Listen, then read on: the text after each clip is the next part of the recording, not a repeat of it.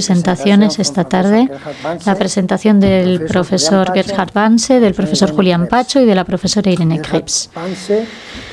El profesor Gerhard Banse va a hablar de la eh, sostenibilidad como eh, principio básico para la interdependencia en el desarrollo sostenible, cultural y técnico.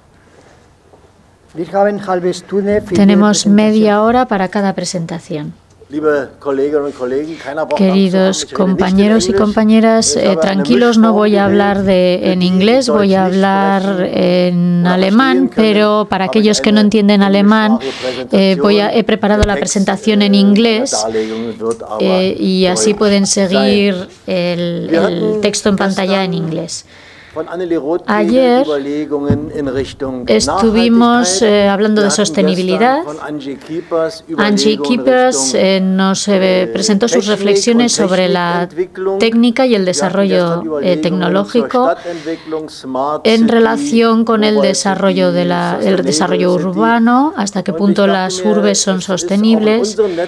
Y en nuestra red eh, como también trabaja en el tema cultural, tiene lógica plantearse cómo son eh, las relaciones entre la sostenibilidad, la técnica y la cultura y cómo se conforman estas relaciones. Y de esto voy a hablar en mi conferencia.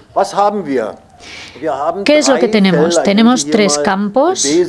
Eh, el primer campo es el desarrollo sostenible, el segundo campo es el de la técnica y el tercer campo es el de la cultura. En un segundo paso, me gustaría hablar de las relaciones entre estos tres campos, eh, cuáles son los puntos de intersección. Y en primer lugar voy a hablar del desarrollo sostenible y de su relación con eh, la técnica y luego de la relación entre la técnica y la cultura y en tercer lugar las relaciones entre el desarrollo sostenible y la cultura. Y en este tercer paso me parece importante, eh, también a la luz de lo que hemos visto, estudiar todo el conjunto y sacar de él algunas consecuencias y explicar por qué mm, he utilizado esta integral que aparece en la intersección eh, del desarrollo sostenible, la técnica y la cultura. Y eh, este sería el desarrollo de mi ponencia. En primer lugar, voy a hablar de conceptos básicos. En segundo lugar, sobre las relaciones entre estos tres eh, campos. Y en tercer lugar, las conclusiones. Vamos a empezar con los aspectos eh, básicos o fundamentales.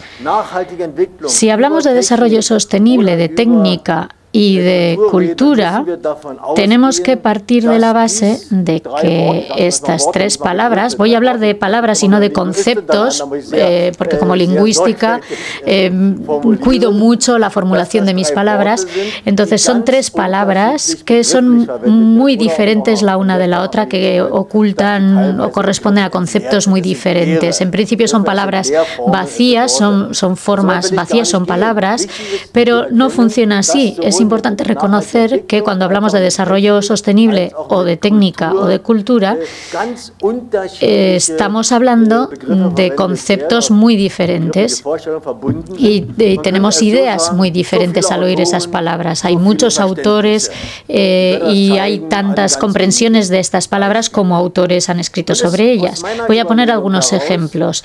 Desde mi punto de vista, en un proceso normal, podemos decir que el, empleo eh, conceptual eh, no es ni erróneo ni, eh, ni adecuado. Podemos decir que dentro de un contexto determinado su empleo es correcto o no correcto, pero existe una relación. El concepto tiene sentido dentro de un entorno relacional.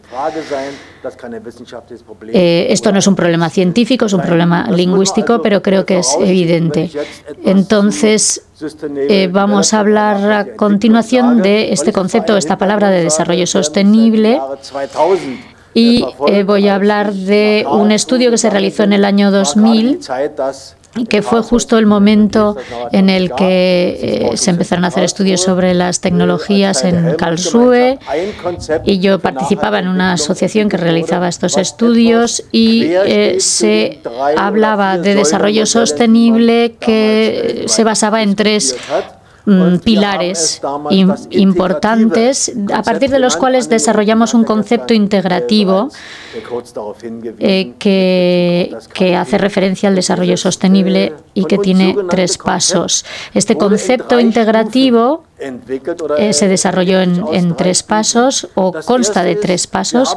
El primer paso, en el primer paso eh, formulamos los elementos constitutivos del desarrollo sostenible, es decir, no tanto los pilares, sino los elementos constitutivos y encontramos que, en primer lugar, hay una justicia intra e intergeneracional, es decir, la justicia entre las, eh, las generaciones que están en este momento vivas eh, y su relación con las generaciones futuras y las generaciones pasadas. En segundo lugar, la sostenibilidad está relacionada eh, con una perspectiva global o internacional. se cuando se hablaba de un Baden-Württemberg sostenible, esto es factible, por supuesto, pero eh, no se puede pretender que la situación de Baden-Württemberg no se vea afectada por el resto, eh, por, por Chequia o por Polonia. O cuando hablamos de, de sostenibilidad, solo podemos hacerlo desde una perspectiva global. Eso no quiere decir que las soluciones no tengan que ser regionales para que sean adecuadas. Y en tercer lugar, en, detrás de la sostenibilidad, sostenibilidad se oculta siempre una perspectiva antropológica. no eh, se trata de un enfoque biocéntrico, sino de un enfoque antropocéntrico. En segundo lugar, eh, en estos elementos hay unos objetivos de sostenibilidad, objetivos, metas, y marcamos tres de estos objetivos, la garantía de la eh, existencia humana, eso es sostenibilidad, asegurarnos de que la raza humana va a seguir existiendo en alguna forma. En segundo lugar, se trata de de, mantener también el potencial productivo de la sociedad. Y, en tercer lugar, ¿Cómo lo podría explicar? Eh, se trata de hablar de las opciones a la hora de actuar, las opciones que tiene la humanidad. Los alemanes conocen la palabra famosísima que se utilizaba en el año 2000, eh, la frase esta famosa que era no hay alternativa. Es decir, cuando no hay alternativa no hay opciones, ya no hay más opciones y precisamente este sería el tercer objetivo, mantener la posibilidad de que haya diferentes opciones, diferentes opciones de actuación, diferentes opciones de pensamiento. Y después, como ya se ha dicho varias veces, eh, tengo que conseguir que estos objetos sean objetivizables, sean medibles de alguna forma. Eh, y para ello desarrollamos unas directrices, eh, normas, leyes de sostenibilidad, siempre relacionadas a los elementos constitutivos y relacionadas con los elementos constitutivos y con los objetivos. Y así tenemos esta, este cuadro de visión general en el que se ve que hay dos grupos, eh, están a la izquierda, a la derecha y en el centro hay dos grupos de, normas. Por un lado tenemos los, las normas que se refieren al contenido, eh, las normas sustanciales y en segundo lugar tenemos las normas que eh, hablan de qué es lo que se está regulando, que serían las normas instrumentales. Es decir, esto que ya he definido, esto que he determinado, cómo puedo llegar a conseguirlo y qué es el mínimo que quiero conseguir y cómo lo podemos cuantificar, cómo lo podemos medir, eh, cómo podemos saber si estamos cerca o lejos de estos objetivos. No quiero eh, hablar en demasiado detalle de esto, así que vamos a continuar. Otro enfoque que para mí es importante es el desarrollo, de, el desarrollo internacional de una ciencia de la sostenibilidad, eh, que está compuesto básicamente de, científicos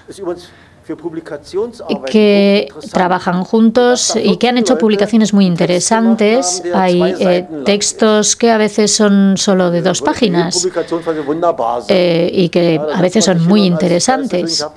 Eh, para ser científico no es necesario escribir siempre artículos de 100 páginas, sino que a veces eh, hay contenidos muy interesantes que aparecen publicados solo en dos páginas. Y en las publicaciones se ve que hay un desarrollo y eh, citaría eh, fundamentalmente a Magritte, a a Löwe y a Holz, que han desarrollado diferentes normas. Y los cito porque se han confrontado con el tema de la cultura. Y los demás eh, que han publicado no han trabajado tanto en los aspectos de la cultura. Pero bueno, esto sería eh, la explicación del concepto integrativo de la sostenibilidad. Vamos a pasar entonces eh, a hablar de la tecnología, porque para mí es importante en este contexto, saber de qué estamos hablando cuando hablamos de tecnología. Es una, eh, hay, hay una unidad indisoluble entre los conocimientos técnicos y los objetos. Y eso sería un sistema sociotecnológico, esta unidad inseparable entre los objetos y los humanos. A la vez, en un sistema sociotecnológico eh, mm, vemos que estos sistemas están imbricados en un entorno heterogéneo. Y, por ejemplo, yo ahora estoy utilizando un ordenador portátil, pero lo estoy utilizando en un entorno determinado en esta ciudad de San Sebastián. Y, en tercer lugar, estos sistemas sociotecnológicos también incluyen eh, su utilización. Es decir, para poder utilizarlos hay que tener un cierto conocimiento. Eh, y son objetos que están desarrollados para conseguir determinadas metas o determinados propósitos. Eh, hace falta una serie de conocer una serie de prácticas de utilización. La eh, mayoría de nosotros eh, sabemos utilizar un ordenador. Nadie de nosotros compraría un ordenador para tenerlo de adorno en una habitación, por ejemplo. A esto me refería. Y sobre la cultura brevemente, también esto es un campo, este es un campo muy amplio y muy diverso, que se refleja, esta diversidad cultural se refleja en el idioma o en los idiomas. Tenemos eh, aquí mismo el problema de esta diversidad cultural, tenemos aquí varios idiomas y si no fuera gracias a las intérpretes tendríamos serios problemas para entendernos, eh, tendríamos problemas de comprensión y eh, todos tenemos diferentes formas de expresarnos y sin esta intermediación no sería posible la comunicación. Pero también el pensamiento viene determinado por esto y también hay un eh, el, lenguaje y la diversidad marca diferentes formas de producir eh, resultados culturales.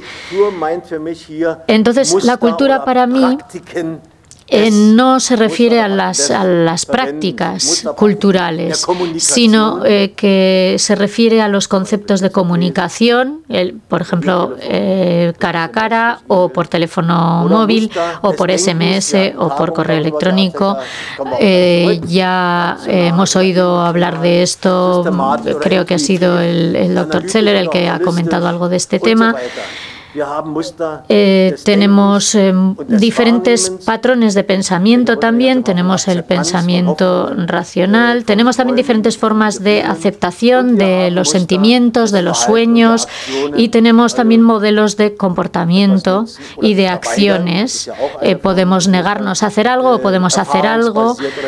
y a veces estos modelos están basados en la experiencia y otras veces no, pero tenemos diferentes formas de reacción siempre en relación al espacio y al tiempo y siempre, y esto es muy importante, bajo la influencia de las tecnologías.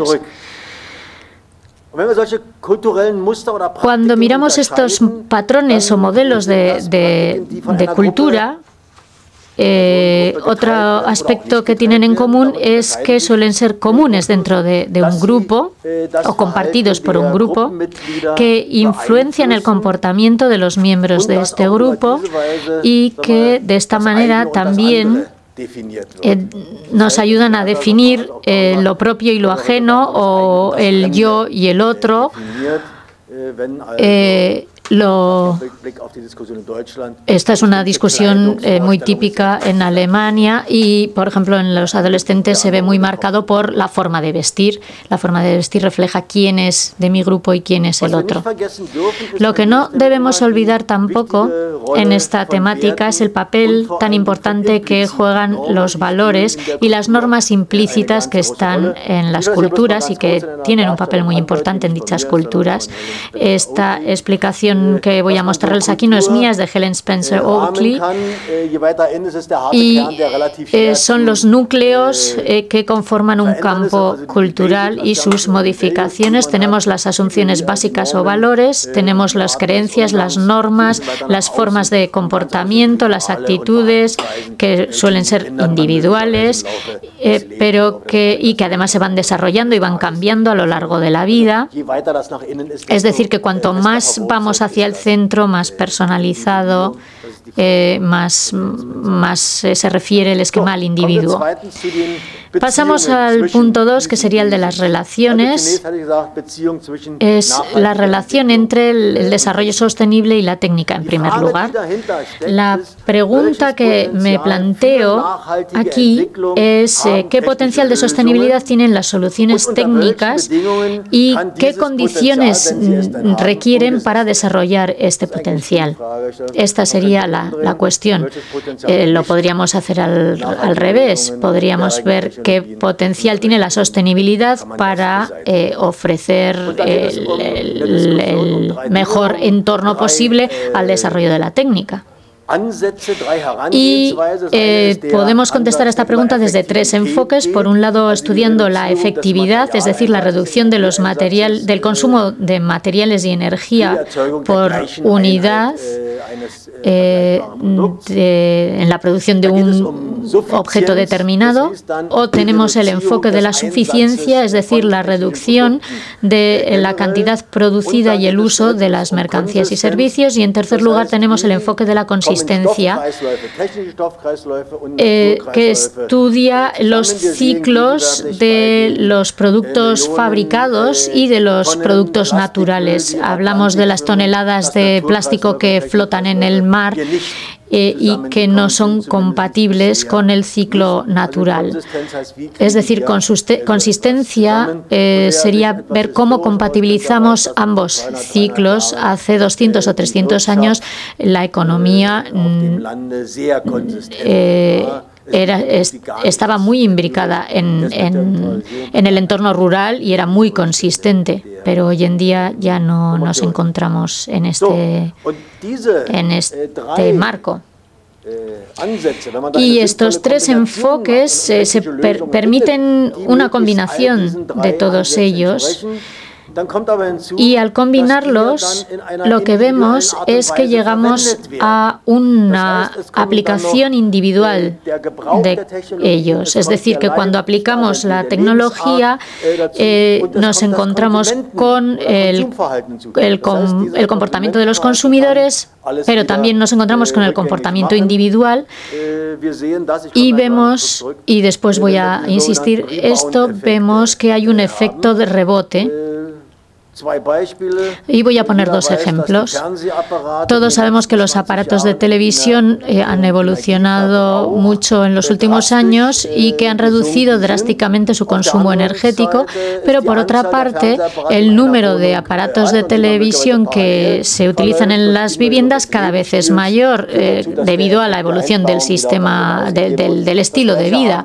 Entonces, eh, tenemos el mismo consumo, aunque los aparatos en teoría consumen menos y lo mismo nos ocurre con los vehículos. Consumen menos, pero cada familia tiene más eh, vehículos en este momento. Esto quiere decir que los estilos de vida y el comportamiento de los consumidores y las eh, tecnologías de consumo eh, también deben de estudiarse dentro de este contexto porque provocan un diálogo en la sociedad que tiene ventajas y desventajas.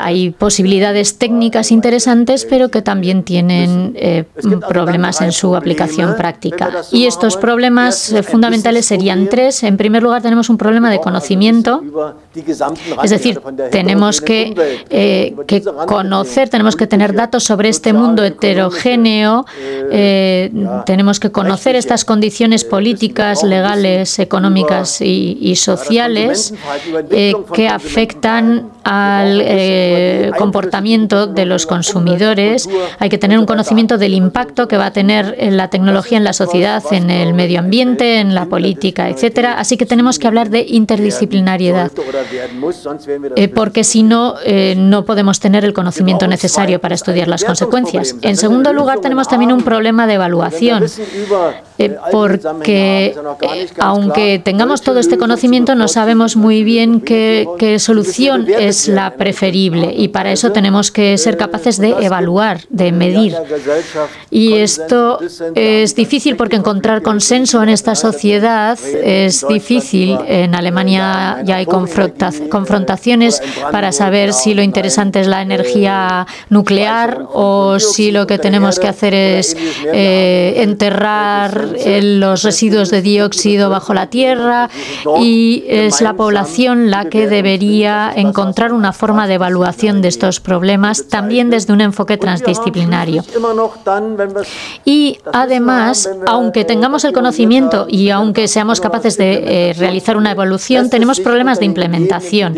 En primer lugar, porque tenemos, eh, tenemos que saber cuáles son los problemas de implementación con los que nos vamos a encontrar. Eh, para mí es muy importante ver cómo podemos llegar a una situación sostenible con los elementos que ya tenemos en la mano.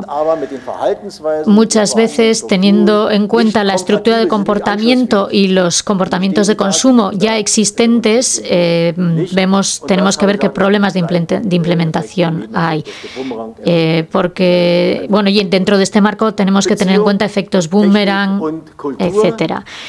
En la relación entre la técnica y la cultura, en un concepto más amplio, eh, podemos decir que la tecnología es parte de la cultura. Eh, ya sé que esta frase suena un poco lapidaria, pero se podría decir que la naturaleza y la cultura eh, son el marco en el que entendemos esta relación.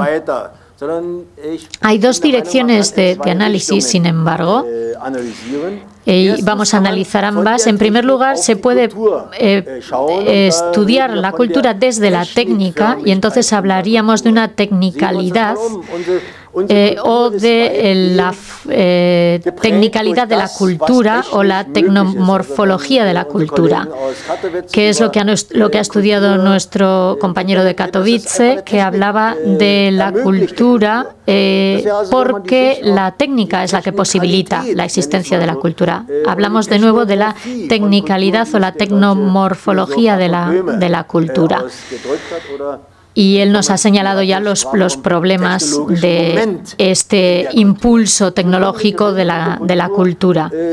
Y el segundo enfoque sería observar la técnica desde la cultura.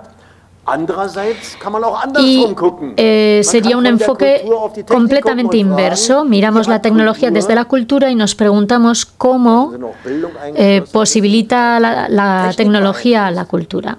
Eh, desde el punto de vista de la formación, etcétera. Entonces hablaríamos de la culturalidad de la técnica. Eh, es como, un palíndromo, hemos cambiado el, el, orden. La mayoría de las formas de la tecnología presentan una influencia cultural. En Alemania, eh, eh, tenemos unas carcasas determinadas en los aparatos, normalmente son negros o plateados. Si vamos a Corea nos encontramos con otros colores completamente diferentes porque los aparatos técnicos pertenecen a otra cultura y tienen un aspecto diferente. La cultura impregna el desarrollo de la tecnología. Y también esto aparece en los procesos de utilización de la tecnología. Y entonces eh, entramos a cuestionarnos aspectos como la aceptabilidad, la transferencia tecnológica, etc.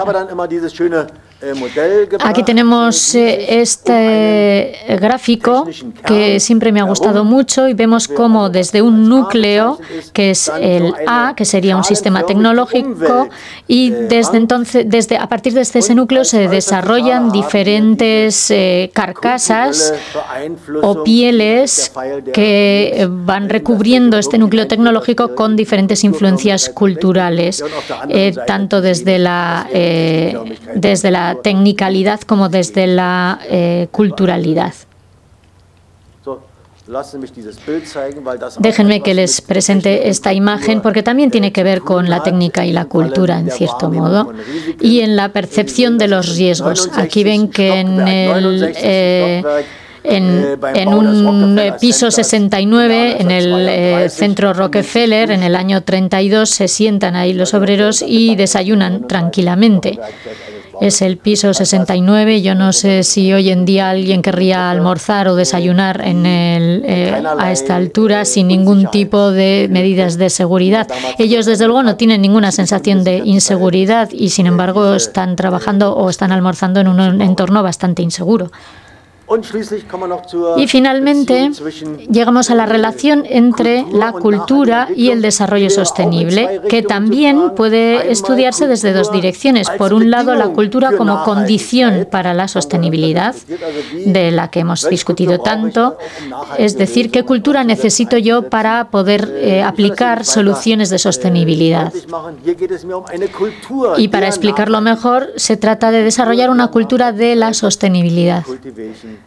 el cultivo de la cultura de la sostenibilidad. Y en la segunda dirección sería la cultura como objetivo de la sostenibilidad. En Katowice hace años que se discute de este tema y eh, no se habla solo de una cultura de la competencia o de la competitividad, sino que se habla de una cultura de sostenibilidad. Y los puntos de vista que se discutieron allí son aspectos éticos eh, desde una percepción holística eh, que abarca la diversidad cultural, el potencial del desarrollo sostenible, el, los conocimientos tradicionales, es decir, en Alemania se debate mucho eh, desde que la eh, medicina tradicional china está tan de moda, se, debate eh, si nuestra forma de elaborar los medicamentos es el adecuado, si tenemos que volver a los conocimientos tradicionales. Y con esto ya llego a la conclusión, ya estoy terminando, Nicanor ya me está mirando mal. Y como conclusión, eh, debo decir que en este momento hay muchas preguntas abiertas y pocas respuestas. Eh, no sabemos en qué dirección deben ir las respuestas. Les puedo comentar lo que aparece en la bibliografía. En este momento la cultura y el desarrollo sostenible sí que aparecen combinados y en, mi opinión se habla del desarrollo de nuevos estilos de vida. Algo que tiene que ver con la, la desaceleración, que tiene que ver con con los modelos de consumo y esto sí que aparece reflejado en la bibliografía. Por otra parte, también se discute o se debate de visiones diferentes. Eh, son, son debates que se van produciendo en ciclos sucesivos. Eh, eh, y se recoge lo que, lo que se hablaba en el debate anterior y se amplía o se adapta al momento. Eh, y se habla de la responsabilidad a largo plazo de, la filosofía. Hoy en día tomamos decisiones que luego van a tener efecto a lo largo de los años y que las nuevas generaciones van a tener que mm, enfrentarse a las consecuencias. Entonces se habla de un nuevo contrato social. En la tradición de Jean-Jacques Rousseau y de John Rawls, eh, eh, que decían que la generación presente es una generación intermedia entre la generación precedente y la generación posterior. y deberían de firmar un contrato social con las generaciones futuras. Y también se habla del Estado eh, conformador o del Estado de diseñador y luego se habla de una gran transformación. Eh, el Consejo Asesor Alemán sobre eh, Cambio Global ha publicado un folleto que se llama El mundo en transición, un contrato social en favor de la sostenibilidad y que sigue esta tradición del nuevo contrato social. Y me, era lo que quería comentarles, estos tres puntos. En base a esto que hemos comentado ahora, ¿quiénes serían los agentes, los actores, los participantes del cambio? Esto no es fácil de determinar. En, un grupo, en un grupo reducido ya es difícil de descubrir quiénes son los que deben eh, desarrollar este nuevo modelo es más fácil eh, organizar eh, una agenda, un, plan, y ahí es más fácil decidir quiénes son los líderes de opinión, que son los que crean una tendencia, y luego esa tendencia se vuelve eh, rutina o se vuelve algo habitual, que sería la forma de conformar el cambio. Eh, Bien, ¿y cómo podemos resumir todo esto? Eh, por un lado, eh, tenemos apreciaciones o reflexiones sobre el estilo de vida, sobre los conceptos políticos, los procesos y los contenidos. Y aquí he preparado una tabla, pero no la voy a leer entera. Son diferentes aspectos de, estos cuatro, de estas cuatro columnas. Y lo importante es que tiene que realizarse una investigación sistemática. Eh, hay ya una ciencia de la sostenibilidad eh, que tiene que eh, realizar una investigación sistemática desde un enfoque sistémico. Es muy importante que haya un enfoque sistémico y sistemático. Y en segundo lugar, necesitamos también una visión holística que abarque todos los problemas de la situación y que solo pueden abordarse transdisciplinariamente. Hay mucha bibliografía, eh, no sé qué habrá publicado en España. Eh, estos eh, cuatro primeros están publicados en Alemania, pero el último creo que es una publicación del de compañero Ayestarán, que ya habló ayer y que creo que mañana nos va a hablar de nuevo. Y esta publicación es suya y habla también del desarrollo sostenible, de la relación entre la cultura, la ética y el conocimiento. Es muy interesante, está en inglés, pero creo que eh, pueden acceder a él en Internet eh, gratuitamente. Creo que lo pueden bajar gratuitamente y se lo recomiendo mucho. Los dos primeros están en alemán, el, segundo, el tercero en inglés y supongo que el del señor Ayestarán estará también en castellano. Muchas gracias por su atención. Muchísimas gracias, señor Vance. Nos queda pregunta, nos queda tiempo para dos preguntas. Te robo la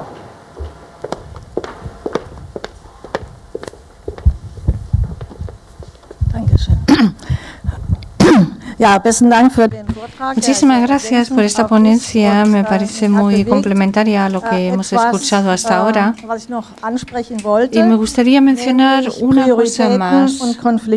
Eh, se refiere a las prioridades y a los conflictos. Y lo que me parece muy interesante es conocer esos dos eh, modelos del informe de principios del 78, cuando se habla de la comunidad global que se ha puesto de acuerdo sobre sobre las tres dimensiones económica, ecológica y social y la sociedad de Helmholtz tiene como prioridades la eh, vertiente eh, social y ecológica económica, perdón. Eh, no se habla de ecología en estos, eh, entre estos criterios, sino que solo existen subdivisiones en este sentido. En el modelo de Naciones Unidas ni siquiera se menciona la tecnología en el título y lo encontramos en algún apartado eh, del capítulo sobre economía. Y aquí me parece que es al revés, porque la tecnología ocupa el primer lugar y en algún momento dado también se menciona la naturaleza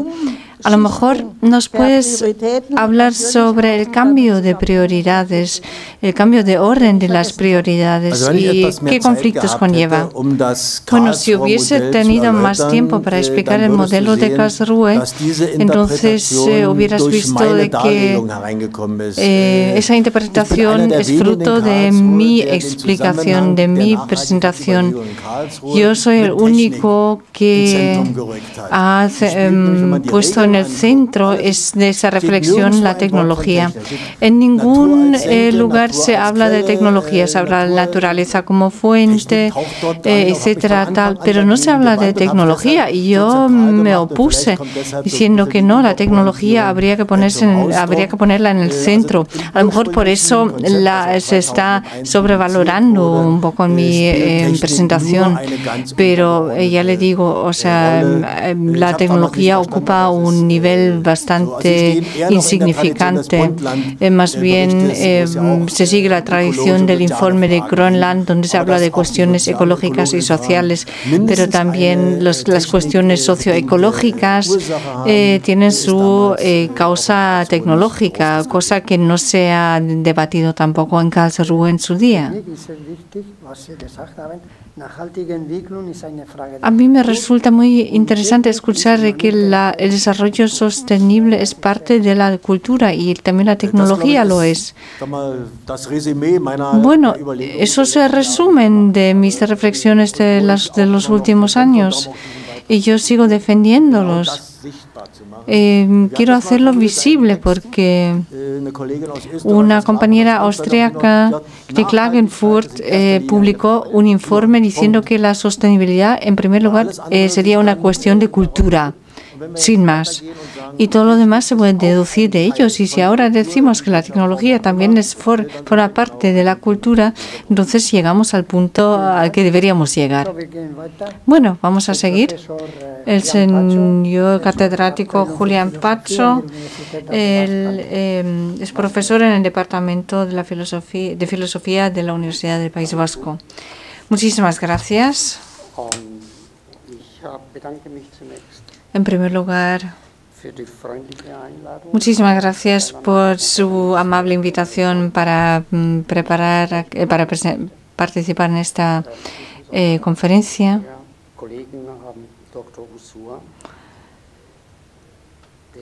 También le doy las gracias al señor doctor Usua que nos ha mostrado sus grandes dotes de organizador.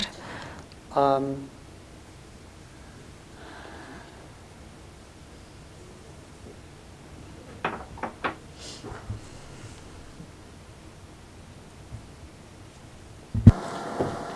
muss man es wieder zumachen.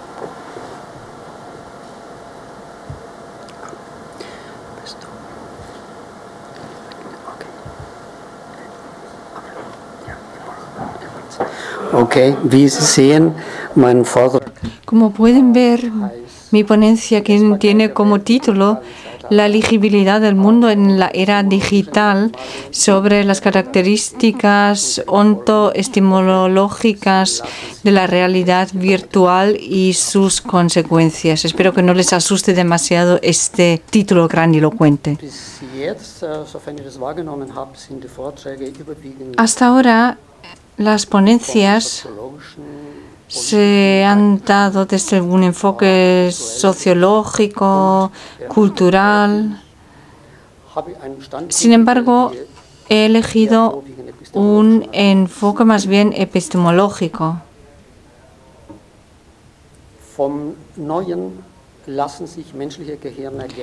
Al cerebro humano le entusiasma lo nuevo, los nuevos objetos de origen cultural, sean, sean eh, términos, teorías o productos tecnológicos o también nuevas épocas eh, culturales. Desde la antigüedad y sobre todo desde el principio de la época moderna, la así llamada era eh, moderna, sí, el surgimiento de una nueva era se consideraba como una gran esperanza para la creación de una nueva conciencia cultural. En nuestra época, lo nuevo está presente de una manera hasta ahora eh, desconocida. Esa novedad no solo la tecnología, sino un nuevo tipo de tecnología nos eh, tiene un efecto permanente e invasivo sobre nosotros. Determina finalmente nuestra, nuestro modo de vivir, tanto en lo social como en lo privado. El efecto invasor de, eh, nos, eh, de por sí no es decisivo. Otro, em, otra característica específica de lo nuevo hoy en día es su constante crecimiento y más aún su crecimiento acelerado Nunca antes el, futuro más eh, inmediato era tan imprevisible como antes. Siempre vivimos con lo nuevo, nos guía lo nuevo. Eh, desde las últimas dos décadas del siglo XX vivimos lo que se llama la tercera eh, revolución industrial. La primera es eh, basaba en el carbón, en el hierro y en la máquina de vapor. Y la segunda eh, en las infraestructuras, la fabricación y el transporte y, la, eh, y también en la electricidad, el teléfono y la televisión que cambiaba el mundo de esta manera y la comunicación. Y la tercera revolución digital em, industrial se basa en la tecnología digital lo cambia todo y crea también unos bienes y unos servicios que no conocíamos hasta la fecha. El sociólogo Jeremy Rifkin afirma que esta revolución eh, llevaba a una nueva forma de sociedad político-social que mm, dejaría atrás tanto el capitalismo como el socialismo, convirtiéndoles en museos de una forma madura de la cultura humana. ¿Qué duda cabe de que las consecuencias disruptivas de las nuevas tecnologías existen en todos los ámbitos tradicionales de la comunicación humana y por lo tanto también tienen sus consecuencias sobre la economía? Podríamos pensar de que no, no iba a haber ya ninguna revolución, ya que la cultura se encuentra en un estado irreversible de revolución permanente. Pero eso es lo revolucionario de nuestra época, es decir, la em, revolución em, permanente, em, imparable como una estructura cultural eh, fundamental, es decir, la revolución científica, técnica y cultural como estado normal. Nuestro entorno tecnológico, que se ha convertido en el mundo de nuestras experiencias, eh, está cambiando rápidamente y por lo tanto nos exige cada vez un mayor nivel de flexibilidad cognitiva y también una adaptación intensiva y permanente de aprendizaje. En el sentido más estricto de la palabra, no existe ningún mundo preconcebido al cual poder o deber adaptarse. Nosotros, o mejor dicho, nuestra tecnología, eh, somos más independientes, es decir, creamos lo nuevo y em, creamos un nuevo mundo al cual nos tenemos que adaptar. En mi script tengo un cuarto capítulo, pero me lo voy a saltar. Eh, se refiere a la sostenibilidad, eh, un tema que ya se ha mencionado aquí, lo voy a saltar aquí y voy a pasar al capítulo 5 y de esta manera ya llego al tema central de mi ponencia. Voy a defender mi primera tesis. Los objetos digitales eh, en gran medida son objetos independientes, es decir, eh, no son copias, no son ideas preconcebidas sobre el mundo, tampoco son ningún avatar. Los eh, digitales, los objetos digitales sustituyen al mundo en la experiencia del ser humano del mundo, es decir, sustituyen al mundo conocido por otro mundo, un nuevo mundo. El eh, sujeto individual tiene que explorar en primer lugar este mundo, tiene que conocerlo para poder adaptarse a él. Además, ese proceso de adaptación es necesario para poder vivir, al menos en el sentido cognitivo. Para ilustrarlo, eh, quisiera presentarles la siguiente tabla donde se resumen algunas características ontoestimológicas, eh, es decir, eh, los objetos físicos platónicos, las ideas platónicas en ese sentido, y los objetos virtuales. Donde ven un símbolo de más, eso significa que sí, y un menos significa que no. Pero no voy a explicar detalladamente esta tabla, eso nos llevaría demasiado tiempo. Me voy a limitar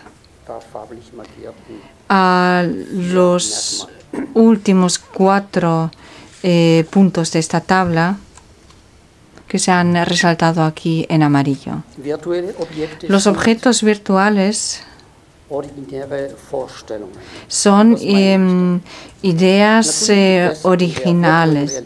Eh, es decir, en la, em, en la realidad virtual hay muchas eh, ilustraciones, es decir, una ilustración de un zapato de un vendedor por internet online o las reproducciones de obras de arte de un museo, en el sentido literal de la palabra, solo son copias, pero aún así la experiencia de una copia digital de un zapato epistémicamente no es idéntica al original, pero equivalente en cuanto a su función. Una visita a la zapatería en este sentido ya eh, sobra. La visita virtual de un museo es otro ejemplo más. También eh, contiene valores de experiencia que mm, eh, no se puede equiparar a la eh, contemplación de algunas imágenes de obras en un libro de Gutenberg. Esas experiencias personales eh, de los visitantes son parecidas, pero no iguales. Em, pero cabe preguntarse si una visita digital de un museo hace, eh, super, eh, o sea, hace que nos sobre una visita personal de un museo. Unas imágenes tridimensionales sobre la historia de la pintura, como se ofrecen en Google Art and Culture, ya no son solo copias de obras conocidas, sino que estas obras, esas pinturas, tienen algunas características muy especiales. Se pueden ver algunos aspectos, como por ejemplo la textura de las pinceladas, la estructura de los pigmentos de color, algunas eh, capas superpuestas, etcétera, que con la mirada tan solo no se pueden ver. Pero la eh, experiencia óptica de los textos y eh, de la música se puede unir creándose de esta forma un nuevo objeto de experiencias nueva desde el punto de vista estructural y eh, eh, intertextual. La reproducción digital de un texto o de un libro entero no son copias de textos eh, físicos, son objetos independientes con características epistémicas porque son objetos genuinos, es decir, objetos con una experiencia propia. Los objetos virtuales son objetos genuinos. Todos lo sabemos. Si leemos un texto eh, físico, eh, leemos un, leemos un texto físico de otra manera que un texto digitalizado, pero la eh, diferencia no eh, radica en no poder o leer, doblar o pasar la página de un texto digitalizado, sino que los textos digitalizados eh, no son objetos pasivos. ¿Por qué? Porque se leen por sí solos y saben lo que contienen y este conocimiento se lo pone a disposición del lector de manera interactiva. Normalmente este texto está relacionado con otros textos y otras fuentes de información, a su vez también interactivos. La lectura de textos eh, por parte de los habitantes del mundo digital eh, es un proceso eh, em, epistémico muy abierto y en este sentido, la lectura clásica solo es una pequeña parte de, este, de esta lectura. ¿Por qué? Porque Muchos de los objetos virtuales los reconocemos de forma autónoma y podemos decidir en ese sentido. Em, existe una equivocación muy eh, común eh, de que la naturaleza, eh, sobre la naturaleza de la inteligencia artificial es la idea de que solo contenía lo que como personas em, Em, programamos en ella, o sea que solo hace lo que programamos como personas, programas eh, hechas por las personas, nos, o, sea, programas como para jugar al ajedrez, por ejemplo, eh, no solo contienen una serie de jugadas que eh, han programado las personas, pero por otro lado, el programador no sabe cómo, el programador no sabe cómo va a jugar el ordenador. El programa reacciona, eh, elabora tácticas, decide y solo puede llevar a cabo algunas jugadas con la intención de engañar al eh, otro jugador, a la persona en este caso. Eh, estos programas informáticos ganan a las personas porque sus decisiones racionales son imprevisibles.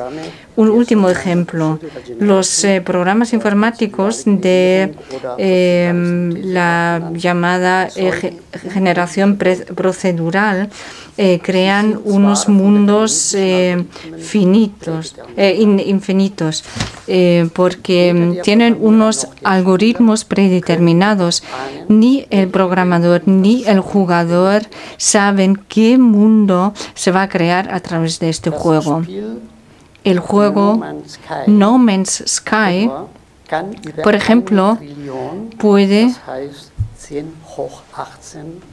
utilizar o puede crear eh, un trillón de eh, planetas, es decir, 10 elevado a 18. Según los cálculos, el 99,9% del juego seguirán sin analizarse, sin poder analizarse, a pesar de ser un juego muy conocido por la humanidad y aunque estuviera jugando durante un millón de años la humanidad. Pero ¿cuál es lo atractivo? de este juego. Lo interesante sería ser el primero o el único en descubrir o explorar ese nuevo mundo o partes de la misma, del mismo. Los objetos virtuales, bien sean textos o imágenes, em, se componen de una masa funcional, autónoma e inteligente que a su vez crea un nuevo mundo. El ser humano, en primer lugar, tiene que explorar este nuevo mundo que de por sí es una segunda y naturaleza y una naturaleza independiente y para ello necesita el conocimiento eh, necesario eh, del mundo en el que quiere vivir. Y porque este nuevo mundo sustituye de manera cognitiva este eh, viejo mundo, eh, tenemos que adaptarnos al mismo eh, si queremos sobrevivir. Y ahora me gustaría presentarles mi segunda tesis. De forma consciente o inconsciente, estamos aprendiendo a, adaptarnos a ese nuevo mundo, a sobrevivir en este nuevo mundo, al igual que nuestros antepasados han tenido que aprender a sobrevivir en esa primera naturaleza. Sin embargo, esa primera naturaleza era eh, estable, constante e inmodificable durante la duración, duración, de la existencia humana. Sin embargo, la segunda naturaleza, la nueva, eh, se transforma constantemente y cada, a un ritmo cada vez más rápido. Y cabe preguntarse si nuestro cerebro, que está, eh, que resulta ser eh, una herramienta de adaptación necesaria para la supervivencia en la antigua naturaleza, será capaz de adaptarse a este ritmo acelerado de mutación en la nueva naturaleza. No deberíamos eh, ser precipitadamente optimistas diciendo eh, que esa segunda naturaleza sería una naturata, natura naturata, es decir, creada por nosotros. Tampoco deberíamos ser eh, optimistas acelerados eh, o precipitados, eh, puesto que esa nueva naturaleza ya había alcanzado un estado de natura naturans, es decir, se ha hecho independiente de nosotros.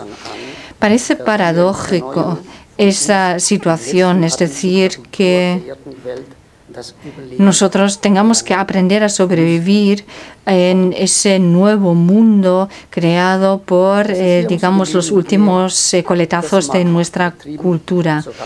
Bueno, igual mm, suena un poco patético, exagerado, si estoy diciendo que se trata de supervivencia. Sin embargo, no quisiera señalar simplemente el hecho de que el que hoy no existe es el que no está presente en el universo de Internet.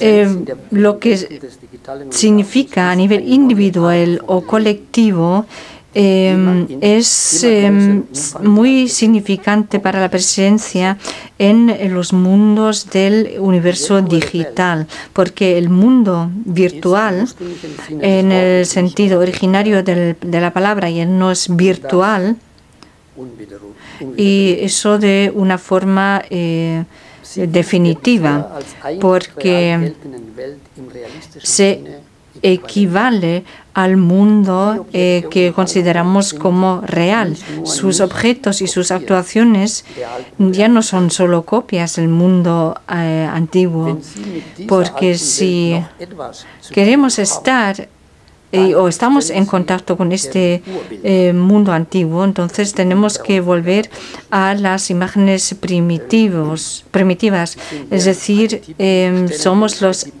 arquetipos em, mediante los cuales vamos a medir este mundo antiguo. Las personas eh, mayores de esta especie no lo verían de esa manera, pero los nativos sí. Es decir, el mundo externo se compara con las imágenes virtuales y se consideran eh, las imágenes virtuales como las imágenes originarias y las del exterior como una copia.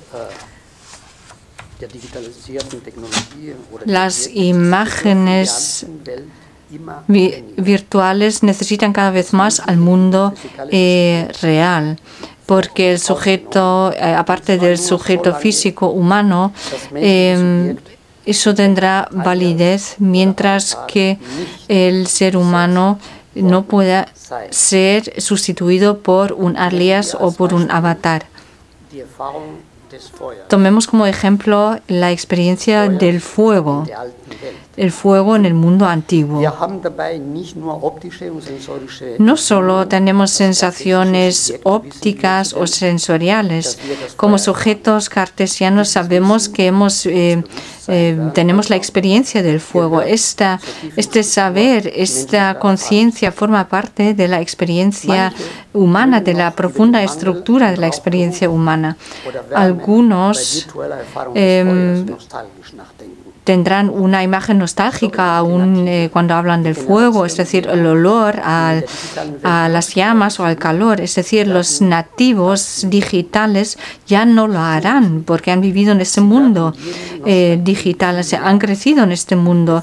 Eh, esa nostalgia em, no la entenderán, les parece algo extraña, extraño. El estado cartesiano, esta conciencia de la experiencia, sin embargo, no la podrán anular. Es decir, lo que anula la realidad virtual son aquellos factores de la antigua experiencia del mundo que eh, sirve de alimento a la nostalgia de los no nativos que aún existen. Por supuesto, estos factores de las experiencias predigitales del mundo han marcado profundamente nuestro eh, lenguaje y también las estructuras de las eh, imágenes que tenemos del mundo en el umbral de las culturas antiguas, aparte del eh, lenguaje eh, oral, se ha mm, desarrollado el lenguaje escrito. La escritura es la codificación eh, verbal del mundo y de esta manera el mundo se ha ido legible, es decir, se ha hecho legible, es decir, em, se ha comparado el mundo actual con descripciones y se ha mezclado con esas descripciones.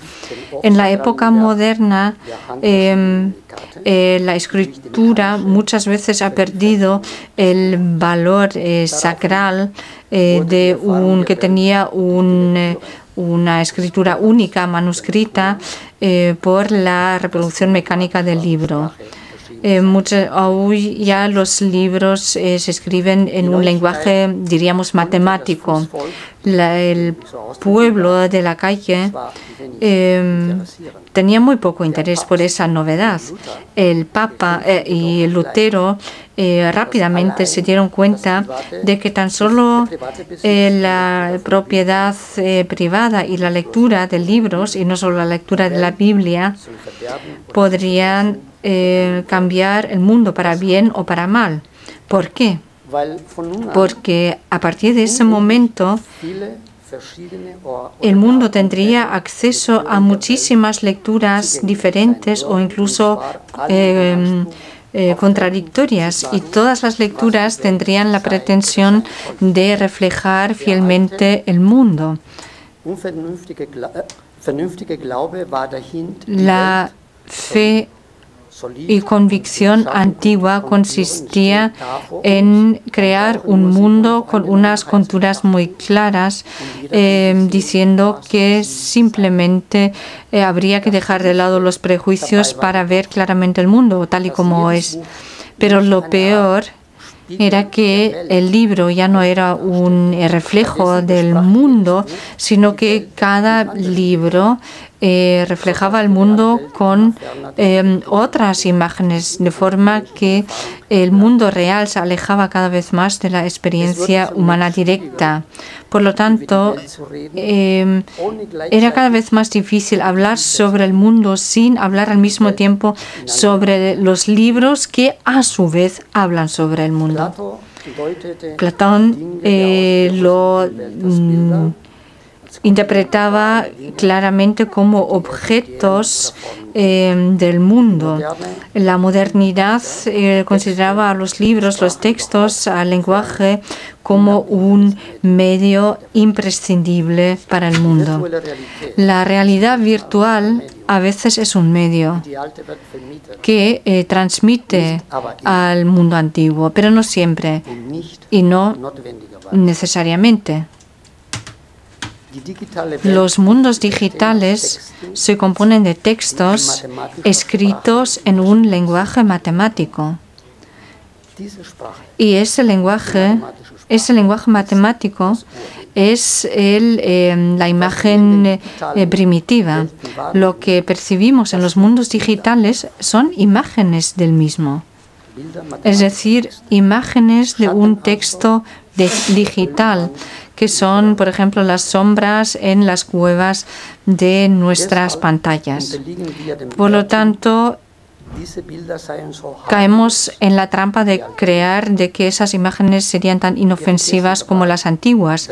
Muchas veces nos olvidamos de que no son las cosas del mundo real eh, las que generan esas imágenes digitales como en una cueva platónica, sino que es el lenguaje inteligente, es decir, los algoritmos los que se ocupan de eh, los asuntos del mundo real.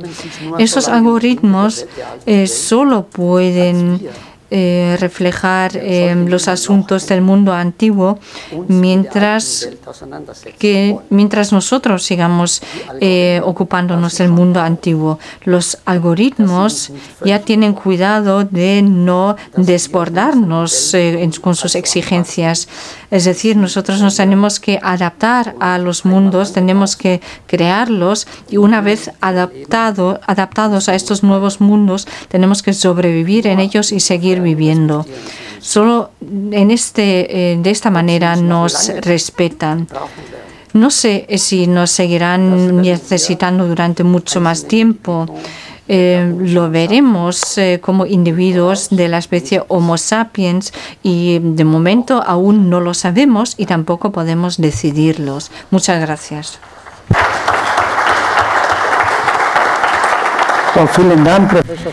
Muchas gracias, profesor Julián Pacho. ¿Hay preguntas? Tenemos tiempo para una pregunta. Julián, en la tabla 4, no, la 5, no he visto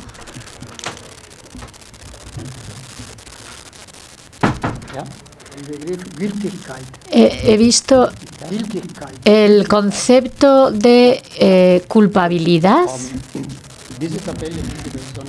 Esta tabla es la versión de otra tabla que es más pequeña, más reducida y me he limitado a las características que tenían que ver con este contexto en el que nos movemos y que para mí eran como eh, vías eh, de acceso a los conceptos que quería explicar. Eh, la culpabilidad me parecía que no era importante en este contexto y por eso no la he mencionado, no la he eliminado, porque no hemos hablado de valores interesante, pero por supuesto la podríamos incluir, eh, aunque no, no sé si, si aporta algo, no sé si se refiere a la normatividad o, a qué se refiere exactamente. En principio, yo he partido de la base de que los objetos eh, con los que trabajamos son muy importantes, mucho más importantes que, eh, que la percepción social. Es decir, lo que está como marco de mi conferencia es que la la ciencia infravalora estos aspectos, el valor, el valor objetivo de la técnica.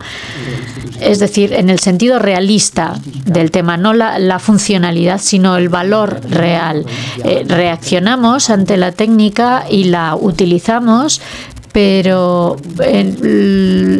no sabemos muy bien qué es lo que quiere decir para nosotros y tampoco sabemos muy bien qué es lo que ocurre con nosotros cuando, cuando la utilizamos. Y, y sin embargo, trabajamos con, con ello diariamente y reaccionamos demasiado tarde. Bien, entonces seguimos adelante. Y vamos a interdependencia en cultura.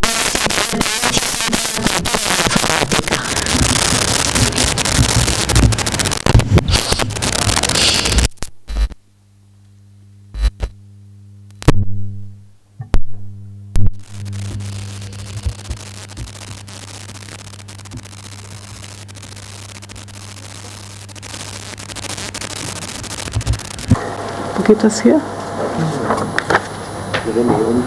Hier. Unten? Ja, ja, ich war, ja, ja, aber ich wollte, na gut.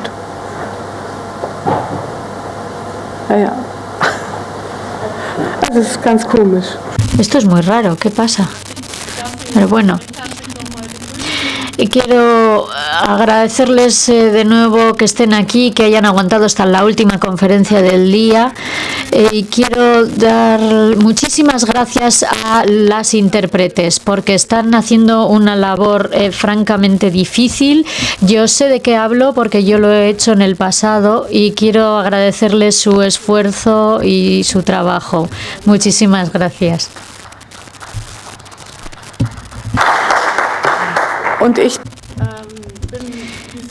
Y como saben todos ustedes, yo soy la exótica de esta red. Vengo del mundo de la informática y he estado escuchando cómo eh, se plantean ustedes los objetos digitales y desde mi punto de vista no voy a intentar eh, aburrirles con matemáticas o con eh, lenguajes de programación, sino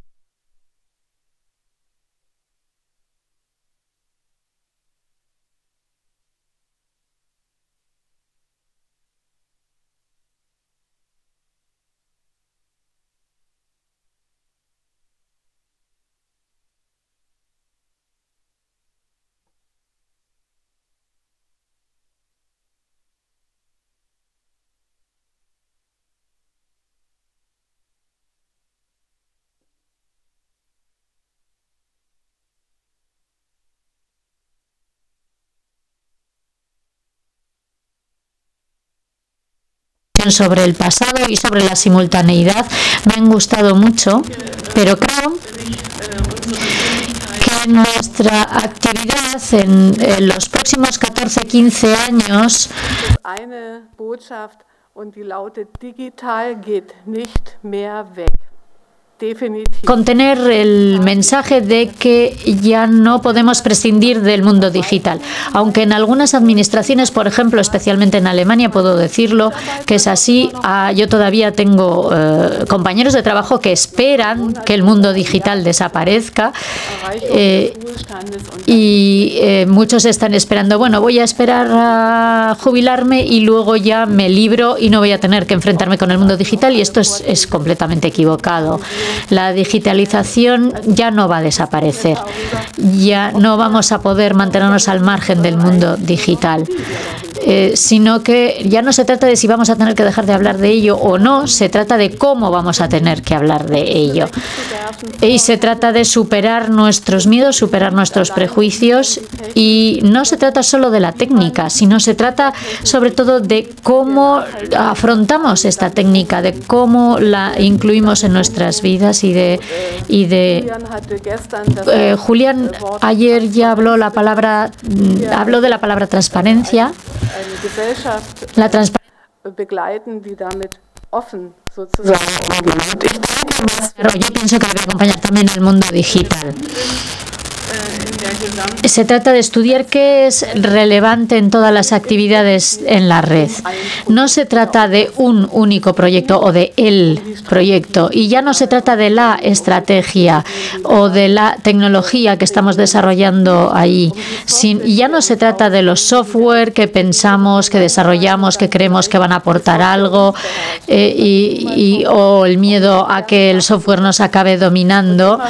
Eh, siempre va a haber alguien que va a desarrollar algo diferente y siempre va a haber alguien que va a ser capaz de manejar ese nuevo desarrollo. Ya no se trata de todo esto, sino que se trata de enfocarnos en el ser humano. El ser humano es el que está en el centro de todo este desarrollo, de tanto de los proyectos como las estrategias y el software. Este es el aspecto central. Eh, y esto es lo que debemos estudiar. Estos son los problemas fundamentales que se plantean al conocimiento y a, la, y a la sociedad y al mundo en el que vivimos actualmente. Y especialmente si trabajamos en la universidad, como es mi caso. Así que muchas gracias eh, a los organizadores de San Sebastián por la invitación. ¿Y qué es lo que quiero decir? Quiero decir que la digitalización, hay miles de conceptos que son sinónimos de digitalización. La sociedad del, de, en red y Internet es un fenómeno social eh, global. Y es inevitable en mi presentación eh, hablar de edades cada, pero en el fondo cada uno de los, de los sectores de edad, de, las, eh, de los márgenes de edad, los jóvenes, las personas mayores, eh, tienen un, un, enfoque diferente sobre la digitalización y sobre la utilización de los medios digitales, pero tienen una utilización de los medios digitales. Es decir, que la digitalización eh, va a llevar a cambios sociales. Por ejemplo, no tardaremos mucho en que ya no se impriman periódicos, ya no se impriman libros y yo por lo menos no quiero abandonar todavía el libro en papel, a mí todavía me gusta pasar las hojas, me gusta tener la posibilidad de, de, ver el libro físicamente y de poderlo tocar. Eh, pero creo que cada uno y cada una va a tener su forma de afrontar estos cambios y de eh, trabajar y llegar a buenos términos con este desarrollo. Pero, por supuesto, hay tres formas de abordar eh, esta digitalización, de reflexionar sobre esta digitalización. Y, por supuesto, que es diferente si eh, simplemente recogemos y procesamos datos eh, si consideramos la digitalización como la capacidad de recoger y procesar datos y, y archivarlos y de elaborar esos datos de nuevo de, otra forma, eh, que nos permita una compresión diferente, que nos permita cambiar, hacer simulaciones, hacer modificaciones, etcétera es decir, la utilización de los datos. El segundo concepto que para mí es muy importante es la capacidad de conectar sistemas entre ellos y en red eh, porque estos sistemas, eh, una vez interconectados, nos ofrecen posibilidades muy diferentes. Como el señor Panse ya lo ha mencionado, eh, se puede crear una estructura o eh, se pueden eh, acoplar adaptativamente unos a otros. Así que la palabra sería la conexión, que es una palabra que ha aparecido muchas veces a lo largo de esta conferencia, de estas jornadas. Y a continuación äh, tendríamos un tercer concepto, que es el que eh, da un paso más allá, va del, del de la tarea, del, del, objetivo al proceso. Hay un desplazamiento de la perspectiva del, de la tarea al proceso que nos permite eh, reflexionar sobre los procesos desde el punto de vista ya no de eh, la disponibilidad de los datos, sino de, los, eh, de las consecuencias, de eh, los resultados de esta interconexión de sistemas. y hasta qué punto esta interconexión es útil. Entonces desarrollamos una forma de pensamiento procesual que al mismo tiempo es arquitectónico o se produce un pensamiento procesual y un pensamiento arquitectónico que eh, transcurren paralelamente. Y antes he mencionado que para mí el ser humano sigue siendo eh, lo más importante, tiene que estar en el centro de todas estas reflexiones y creo que también tiene que estar en el centro de la sociedad digital.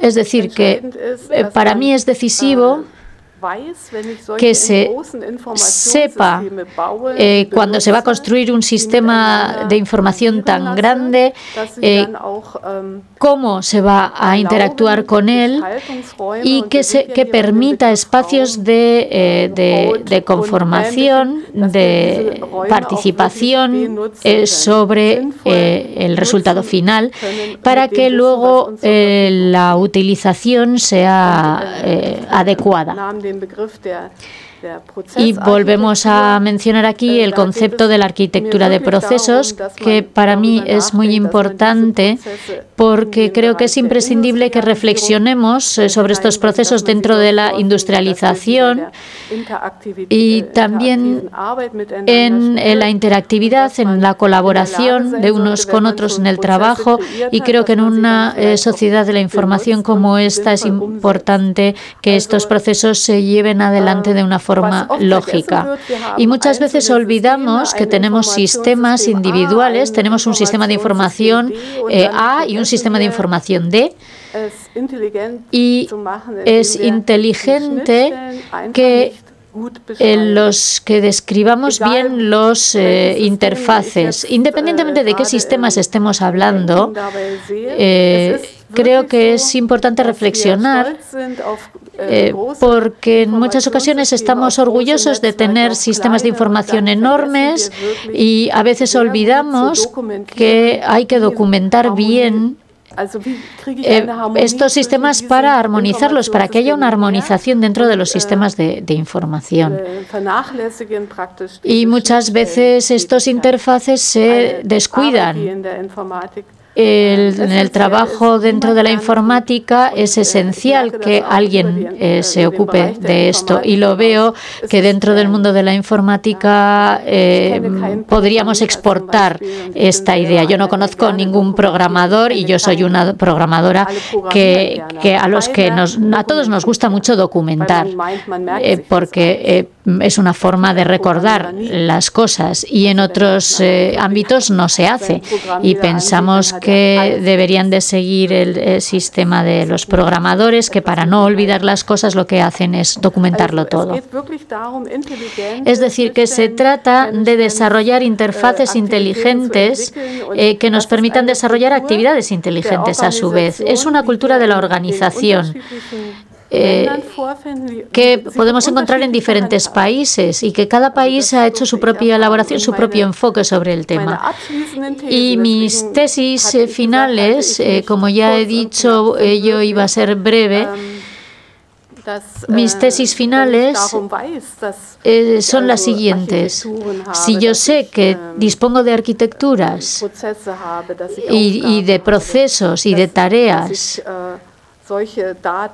que me permiten el trabajar con los datos de una forma que en la que casi puedo hacer lo que quiera con ellos, tengo un problema de conocimiento y un problema de evaluación. El compañero Erdmann ya lo ha mencionado aquí, que él también veía riesgos y peligros en este, en este aspecto, que es necesaria una evaluación.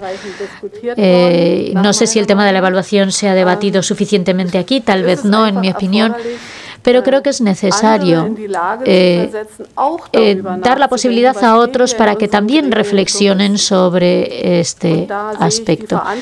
Y creo que la responsabilidad de las universidades, de, los eh, profesores y profesoras es muy importante en este terreno.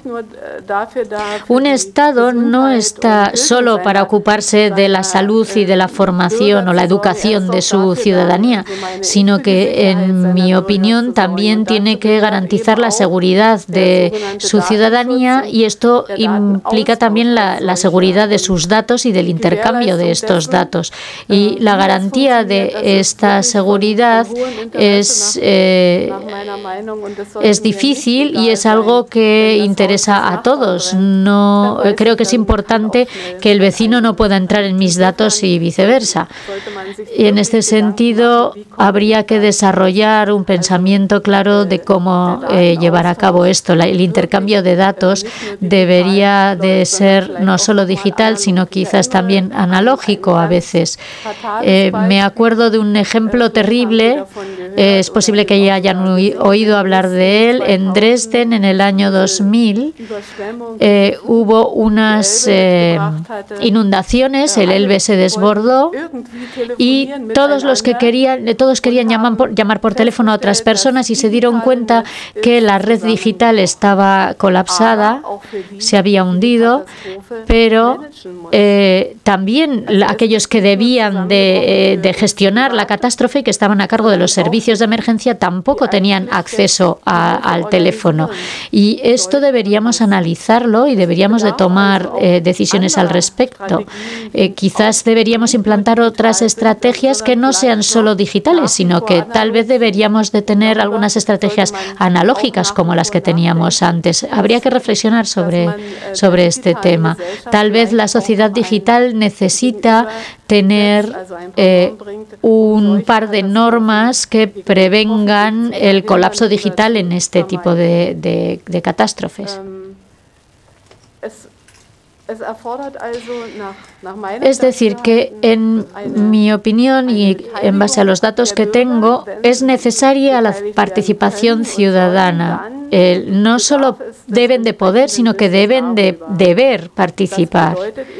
Es decir, que la ciudadanía tiene que entender que necesitamos transparencia para, para comprender los problemas y esto también implica para mí especialmente que eh, que la ciudadanía pueda estar eh, participando una vez que ha sido informada y comprende, siempre desde la comprensión. Pero pienso que siempre hay que escuchar la opinión de la ciudadanía, por lo menos escuchar.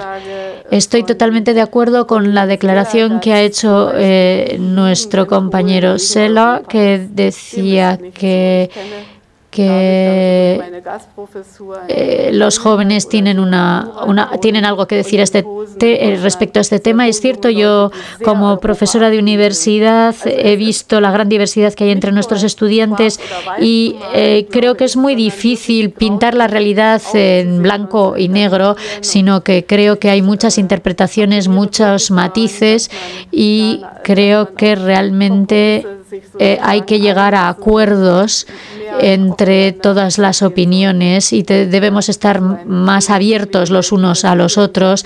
Eh, como hemos visto en, en San Sebastián, donde hemos tenido esta experiencia. Muchas gracias.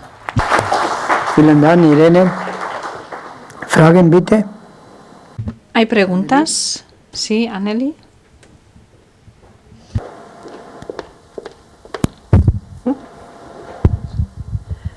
Äh, Me ha parecido muy interesante el hecho de que hayas eh, mencionado el papel de la documentación.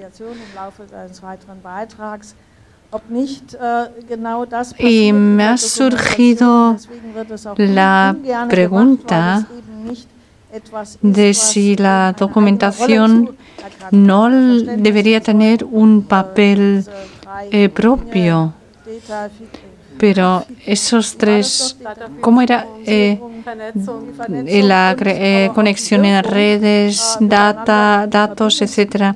O sea, todo eso habría que ponerlo en eh, un contexto común, es decir, lo que consideramos como interconexión en redes no solo tiene un aspecto técnico, sino también cognitivo.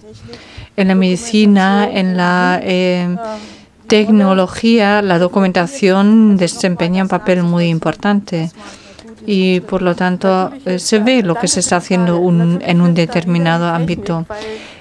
Pues claro, ahí nos ayuda la técnica porque mediante sistemas de tratamiento de información se le quiere obligar al programador a organizar sus, eh, eh, sus informaciones, porque si no el proyecto no se da por concluido.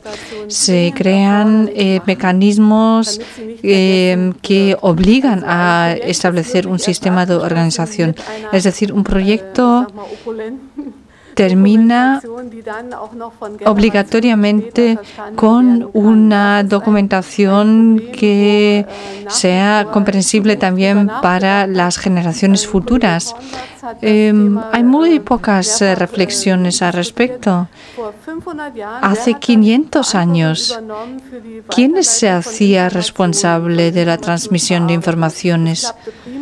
Eh, funcionaba perfectamente a, través de los libros en la iglesia o, o mediante unas letras que se grababan en las piedras. Pero ¿quién decide sobre qué merece la pena conservar y qué no? ¿Quién toma esa decisión? En nuestra sociedad nadie dice yo me hago responsable del conocimiento que vamos a eh, trasladar a las futuras generaciones. Y yo lo veo en mi ámbito. Si, por ejemplo, si tenemos un sistema eh, de funcionamiento antiguo,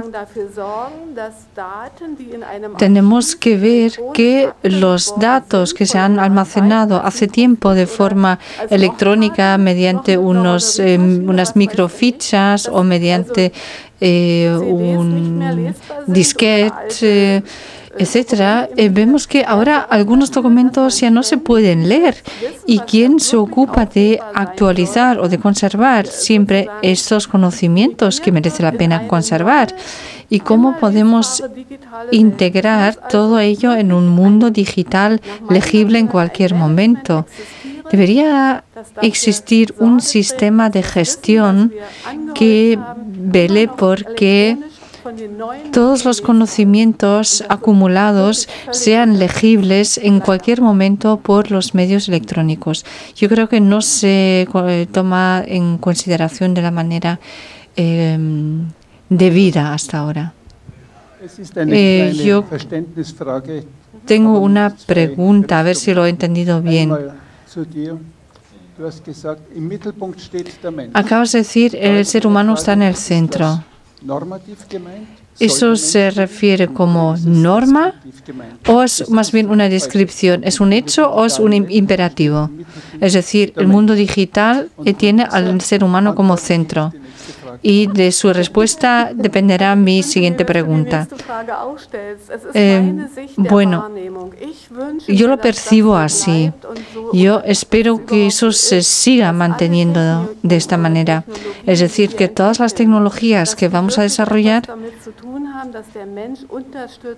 pongan al ser humano como eh, principal destinatario, porque es algo maravilloso el poder estar en el mundo y si encima me ayudan las tecnologías, ¿qué más queremos? O sea que es un deseo y debería ser así.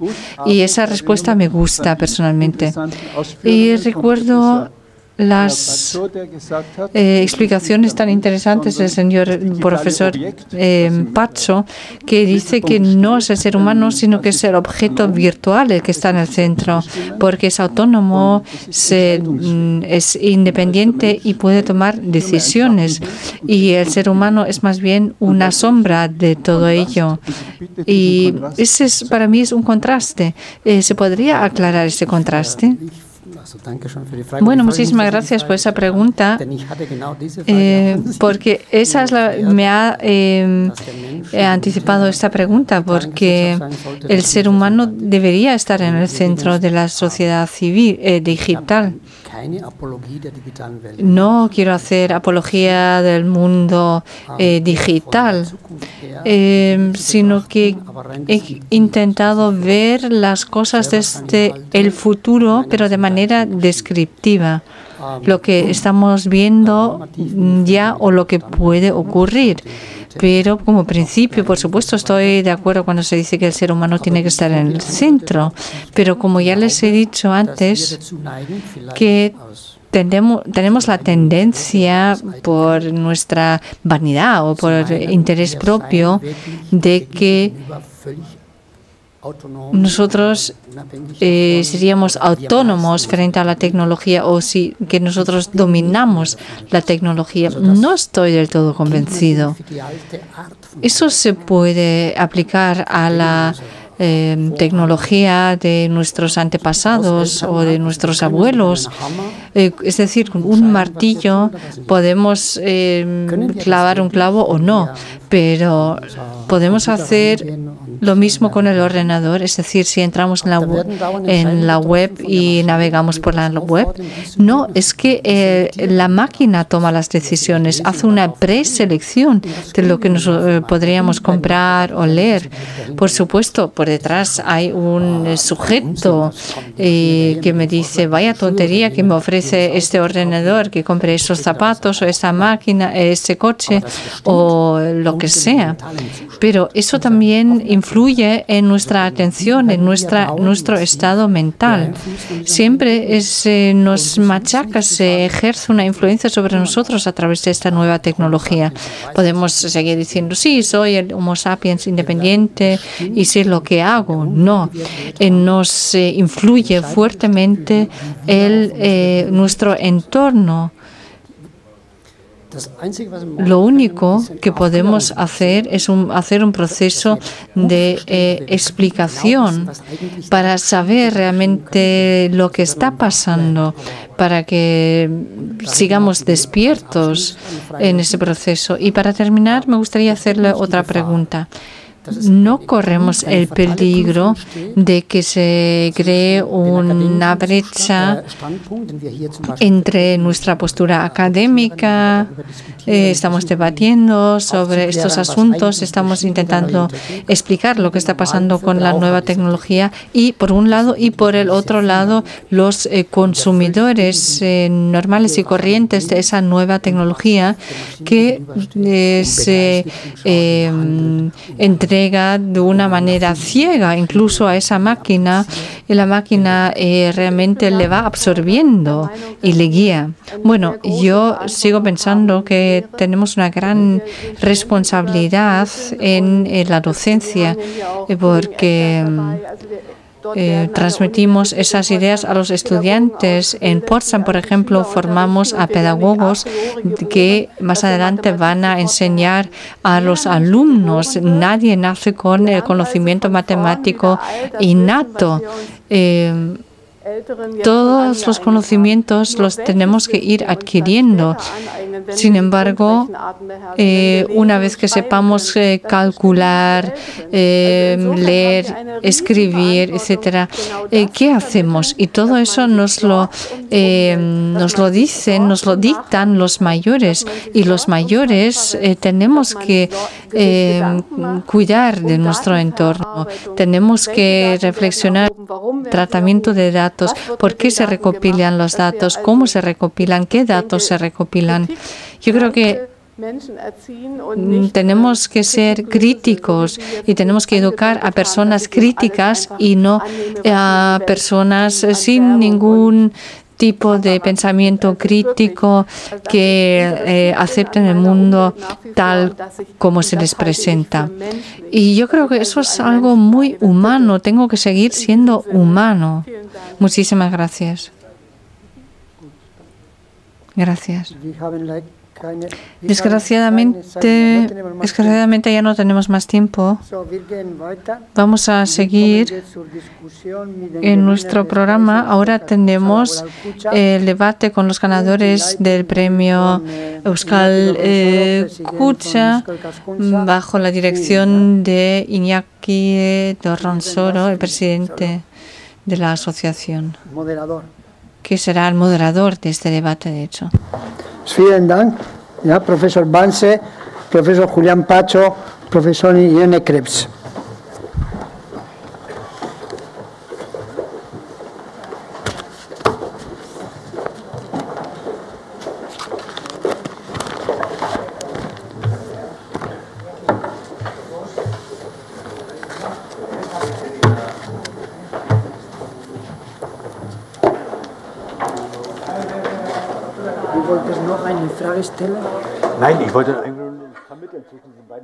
War nicht als Frage, war als Ergänzung gemacht. Nein, nein, das ja, ist mir schon klar. Ja, ja, es ist klar. Ich habe schon gesehen, es ist in Ordnung.